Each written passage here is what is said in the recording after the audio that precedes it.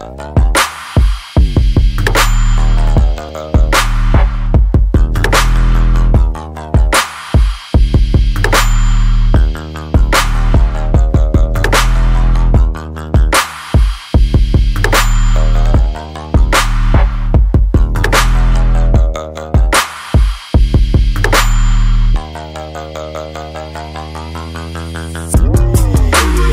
back.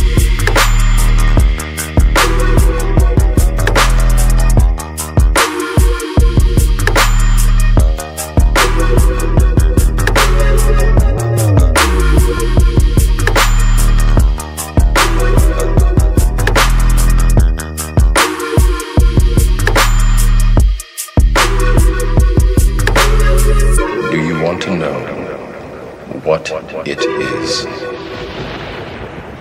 The Matrix is everywhere. It is all around us. Even now, in this very room.